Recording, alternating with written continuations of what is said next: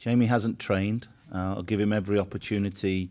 Uh, he's got a tight groin, and that's the reason why he came off. Um, he's had continuous treatment since, but we'll give him every opportunity um, of being fit, although he won't be one to risk. So we'll assess it tomorrow morning. And we're also going to bring two young lads into the squad as well, in, in Josh Knight, who played before, and Hamza Choudhury, who will both be involved in the squad for tomorrow.